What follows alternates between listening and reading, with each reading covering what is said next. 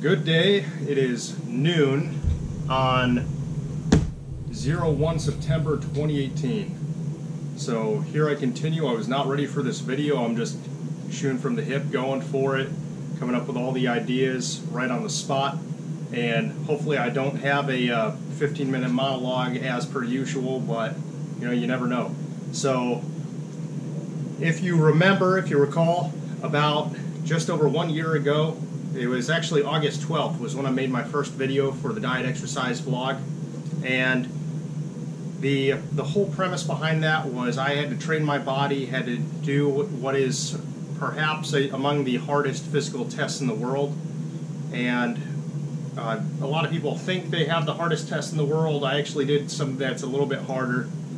And it was, you know, what do you say? It's a gut check. That's it.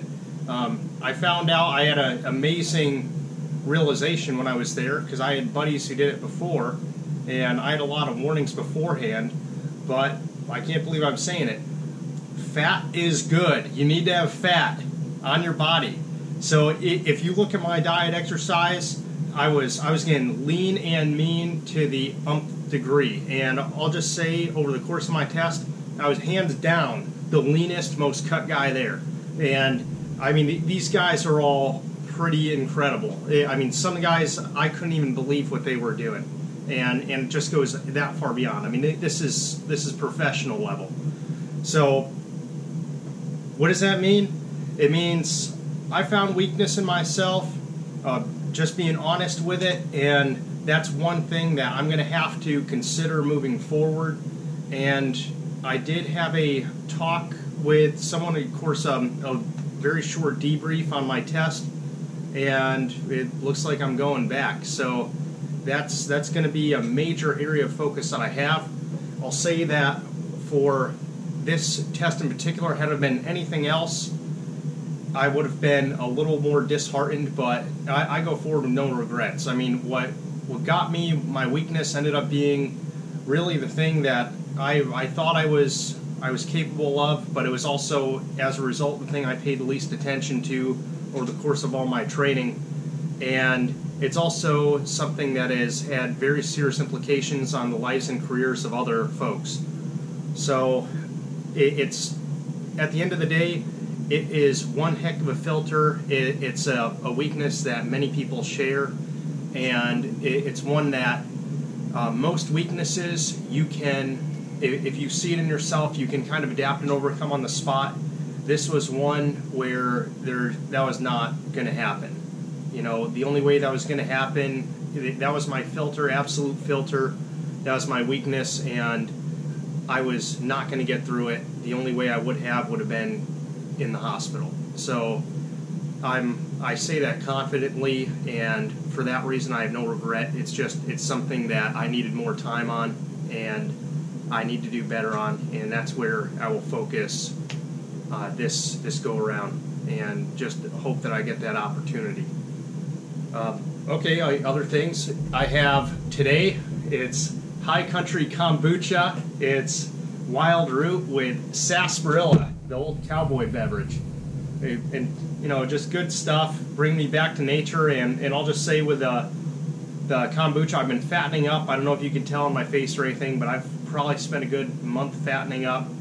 Uh, a lot of guys have been telling me to do that for a while, and well, looks like I gotta go and, and perform again. So now the diet's back on. I just I'm not going to be as lean. I have to include a lot more carbohydrates in my diet. Uh, you know that that's one of the other things. It's just you know it's a shock. You know you cannot physically eat enough. It, just just the time and everything. I mean I was just packing as much food as I could, still wasn't good enough. And, and my body may have had a couple reactions to that, so I just need to be accustomed. Everything else was solid. I mean, especially dealing, you know, dealing with guys, the, the way that my mind was working, it, it was just a, a lot of things were activated in myself that I, you know, I, I know it got good attention. I, I mean, I know it was, it distinguished me that way. So, um, I'm definitely excited for the opportunity. And, you know, at the end of the day, it's, you know, people got to make their own call. It's just me being honest. I, I think that over um, you know the adversity of it.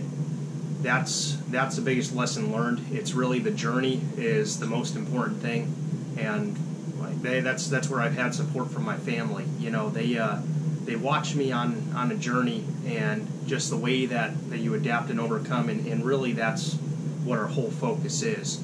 You know, it, it's how do we make the best with what we've got. Um, still, I I hope that I absolutely 100% get to demonstrate what I've learned.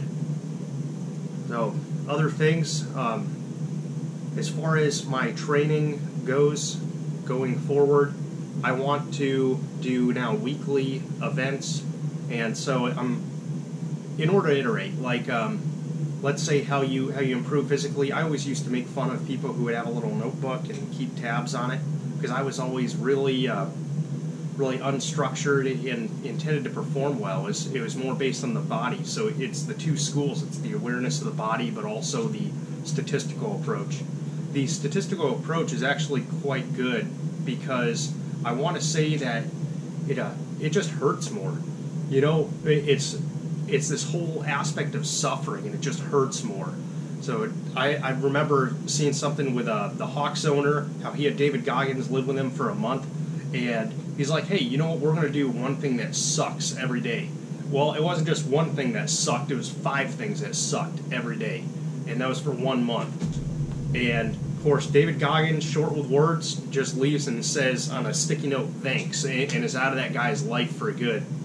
But you know, that's that's how it is. You gotta it's outside your comfort zone and the number basis makes it pretty easy to push yourself outside of that because now it's no longer how you feel now it's it's a performance rating and, and that's critical i mean i was i was doing that a lot on my own incrementing so for months i was just uh, taking my own mental tabs trying to increment so each workout harder than the last and, and that way it was very good and, and that is a good way to to challenge yourself too but things like David Goggins would do is like the one of the examples was the guy's wearing all of his work clothes. I mean, he's a major bigwig executive, and David Goggins is like, dude, you got 10 minutes to the next meeting? 10 minutes, as many burpees as you can do right now. And the guy's like, well, I'm wearing all this clothing. He's like, I don't care.